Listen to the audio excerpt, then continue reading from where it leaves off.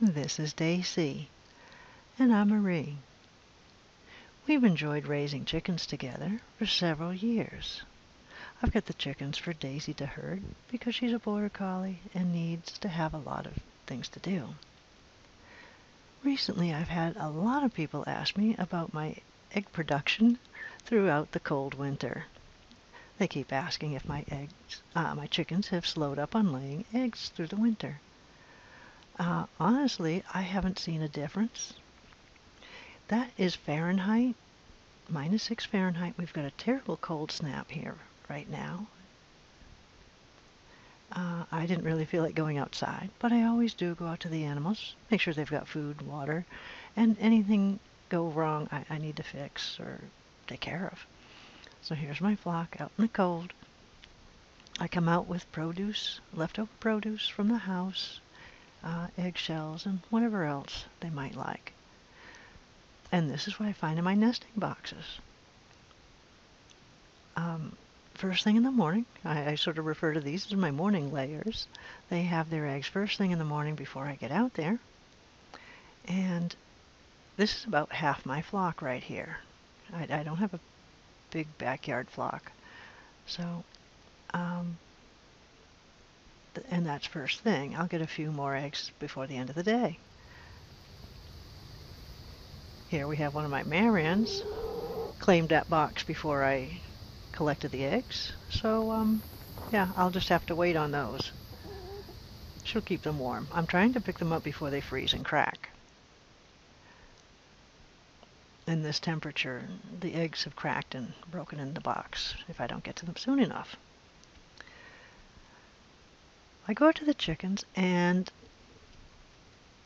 you can see um, it's warmed up to a nice 1 degree Fahrenheit. It's still very cold.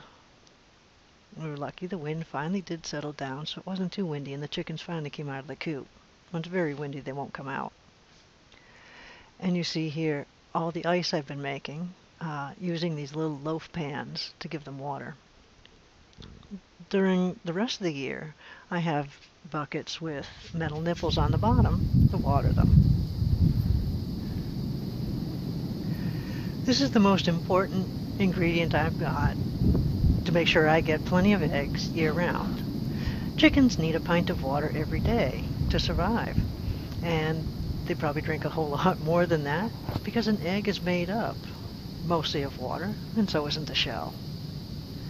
The rest of the year I can use that bucket, that five gallon bucket has a metal nipple on the bottom, but it freezes solid and they can't use it as soon as the temperature reaches 32 Fahrenheit. So I've got to carry water out.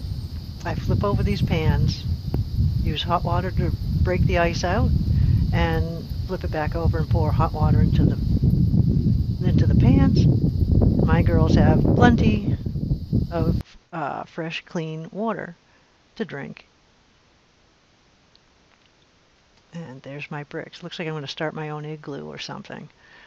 Uh, they've got to have water. Plenty of fresh, clean water. The vernal springs in the area are frozen over as well. They can't get water anywhere else. They have to have it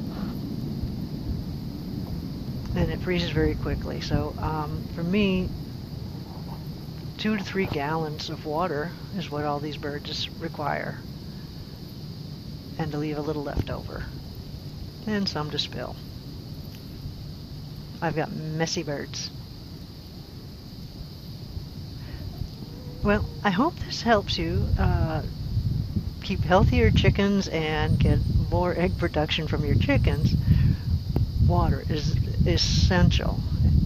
And they don't have it when it's below freezing or in a drought. Um, thanks for watching. Please like and subscribe.